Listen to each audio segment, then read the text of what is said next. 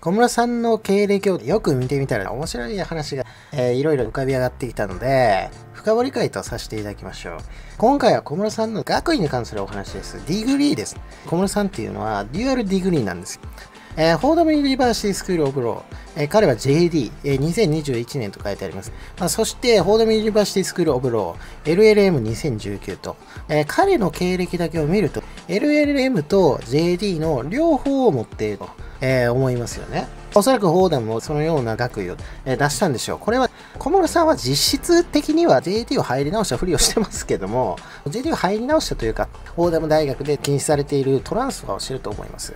フォーダムのホームページではできないと書いてありまして、LLM の単位は JD に移行できないんです。ですが、小室さんは入り直したとすれば3年かかるじゃないですか。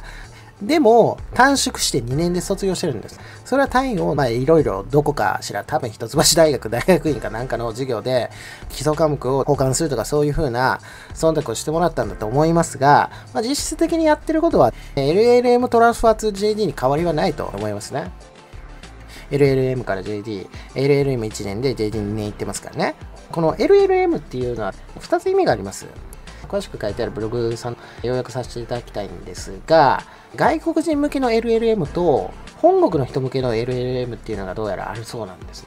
えっ、と、外国人向けの LLM はアメリカ法基礎という感じで、法律英語の授業があったり、契約法や憲法の要点だけをまとめて授業があったりして、そっちも要求されないと。で外国の法学部を出た人間は、えー、この1年の LLM 課程を終わらせるだけでニューヨーク州かカリフォルニア州で司法試験を受けることができるわけです。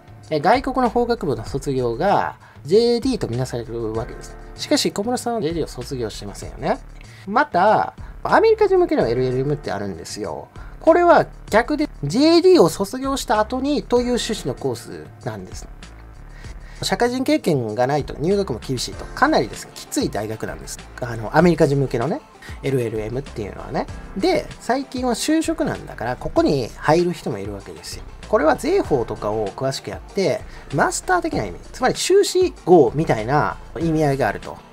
IGE ではロースクール出身のアメリカ人カウンセラーが自らの経験と知識を生かし弁護士を目指す留学生のサポートをいたしますみたいなこういうブログがあるんですが、ここに JD コースと LLM コースとそして SJD という3つのコースが設けられていると。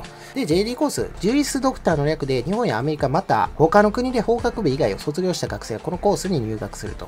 通常プログラムは3年間で憲法、刑法、契約法、とか、え基礎科目を含めて実務の法律家になるための知識と技能をみっちり、えー、授業していくコースであると。で、ドクターという名前はついていますが、実質的に LLB なんですよと。これは実は Wikipedia とか調べてみますと、米国ではこの LLB、法学士が JD に解明されてるんですよ。えー、JD は LLB みたいなもんだと。うん、たとえ日本で法学部を卒業していた人も、アメリカで弁護士を目指す人は国が異なれば法律も異なりますから、JD コースに行くことをお勧めしますよと。で、もっとややこしいのは、日本の JD、日本の Juris Doctor は意味が変わってくるんです。日本の Juris Doctor だと、法科大学院のことを指しております。え、法務博士、括弧専門職です。これは JD と言うんです。 Juris Doctor degree。ややこしいでしょ？専門職大学院が付与する専門職学位の一つだって、法科大学院修了したものに授与されると書いてあります。で、アメリカの意味で JD は学士であると。えー、修士は LLM であると。アメリカ人から見ると、マスターブローの略で法学、えー、修士号であると。学士レベルである JD を卒業し、さらに特殊分野についての知識を含めたい場合に、このコースに進むと。プログラム期間は一般的には1年間。日本で法学部を出た学生はこのコースに進むことができます。で、こ、ここで外国人向けとアメリカ人向けに分かれてるわけですよ。アメリカ人向けは修士っていう意味。で、外国人向けは、でも修士みたいなもんなんじゃないかなと思いますけど、まあ厳密に言えば修士ではないですけど、の場合とかはね、だから、要件とかに、DAD を卒業しているとか、法学部を卒業しているとか、書いてあっても、確かに違和感はないですよね。LLM コースに入学するには、えー、法学部か法科大学院の学位が必要であると、本国でね。って言われてますけど、まあ、修士っていう観点で見たら、まあ確かに違和感はないです。なんですが、小室さんは、ね、法学部を得ずに行ったわけですよ。いきなり修士に飛び込んでるわけなんですよ。経営法卒業の人がね。これかなり異様でしょ？小室さんはこの LLM と JD を両方持たれております。これは、まかなり異例のコースであって、そもそも LLM トランスファーツ JD はアメリカ人じゃ全然知られてないコースなんです。あんまりロースクールが大々的に宣伝しないんですよ。アメリカ人って LSAT に向けて血のにじむような努力をして、やっと受かられるみたいな話なんですよ。フォーダム大学まで164点ぐらいでしたっけ？が、いるぐらい結構難易度が高いんですね。LLM トランスファーツ JD っていうのは LSAT 不要なんですよ。隠してるんですね、これ。こんなニーズってあんまないわけです。本国で法学部とかあの弁護士になられてる方、例えば小堀蘭子さんもそうですけども、弁護士権受かられてる方が LLM に入学、箔付けで入学して、そのまま受けて帰ってくるわけですから、それでいいんですよ。本国で JD なんて取る必要ないんですよ。小室系の場合、全く特殊なんです。そういった方向けのコースですから、まあ、相当特殊パターン。なんでこれを小室圭が選択できているのか疑問なんです。知り尽くしている人間がサポートしてるとしか思えないんですよ。で、フォーダム大学の相談をしてたのは、確かジュリアさんも含まれております。まあ、おそらく私はこの辺なのかなと。じゃあ次のお話ですね。えー、っと、UCLA とね、えー、文がありますけども、UCLA のえっと JD の編入です。LLM トランスファーツ JD です。UCLA の LLM の在校生は LSAT 不要なんです。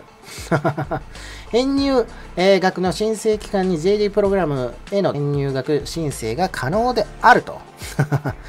えー、出願者の成績と UCLA の LLM プログラムで受修したコースの相対的な難易度が重視されますよ、みたいなね。入学審査は非常に厳しいですよ、と。LLM プログラムよりも厳しいです、これは、と書いてあります。うん、これはあくまで UCLA ですからね。まあ、小室が留学してましたけども。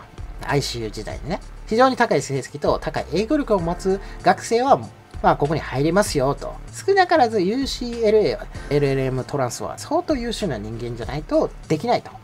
じゃないと公平じゃないですよね。LSAT を受けなくていいんですから、UCLA の場合は。多分、フォーダムも回避したものと思いますけどね。JD 入り直してるんであれば、LSAT を受けなければいけないはずなんですよ。だこれを回避してるっていうことは、実質トランスファーになってると。まあ、そういうわざるを得ないですね。まあ、矛盾してくるわけです。フォーダム大学のホームページの規約とね。まあ、これはかなりおかしいなと。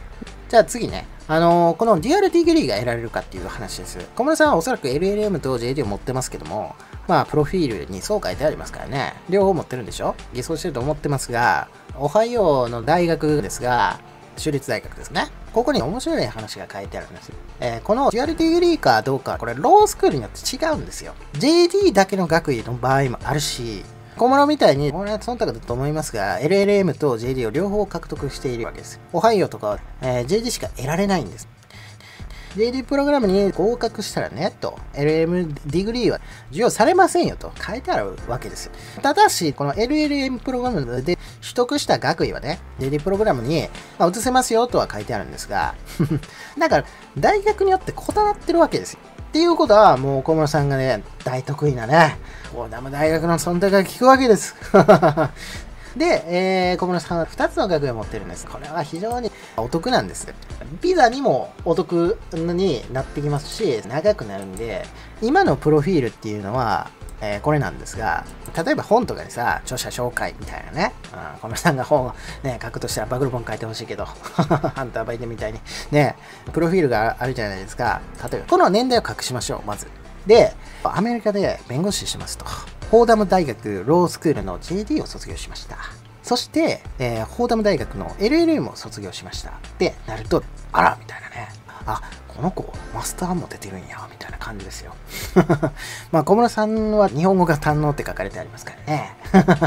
まあ、例えば小室さんがアメリカ人だったらこういう風に見られるでしょうね。仮に小室さん日本人顔でも、例えば、まあ、知らないわけです。小室さんが0歳からアメリカに住んでたのかみたいなのは、現地の人は知らないわけですよ。で、その人が、えー、小室さんは AD を卒業されまして、そして LLM を卒業されまして、で、ローエンスタイン・サンドラーで働いてます、みたいな順番になると、本来とは逆なんですけど、あら、この子はマスター行ったんや、頑張ったんやね、と。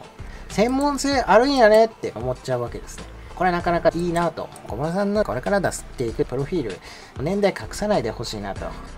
そうそういう順番が逆じゃなくても、まあ、アメリカ人の常識としては、まあ、JD から LLM に行きますから順序逆に違和感持たない人はあなんかマスターまで行った人なんやみたいにちょっと思っちゃうかもしれないですけどね、まあ、そこはメリットの一つだと思いますよ。うん まあ、そうしたら専門性がある、すごい方みたいに見えちゃいますから、そういう専門性があるということは、H1B にもかかってくるんです、この話ね。私はね、そこまで計算してるような気がするんですよ。小室さんって、なんでその JG だけやったら困るかっていうと、それは日本の法学部卒業してないからですよね。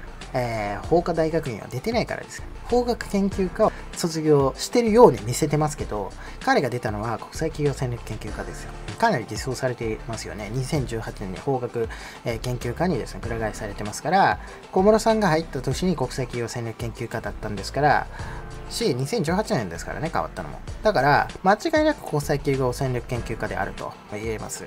だから、法学研究科も出てません。ってなると、まあ、本国で法学教育を受けてるかわからないので、JD だけではちょっと心もとないんですね。学士だけみたいなね。まなんで LLM も、まあもしかしたら欲しかったんじゃないのかなと。ちょっと JD だけでは専門性がちょっと弱い、アピールが。って思ったんじゃないのかなと私は思いますね。まあ、ハックですよね、ある意味ね。うん。っていうのは、制度を知り尽くした人間がサポートしてるようにしか思えないんですね。ってなると、やっぱり上がってくるのは立川さんであったりとか、いろいろね、そういう人が現れてくると思いますが。はい、以上です。じゃあ、近くバイバイ。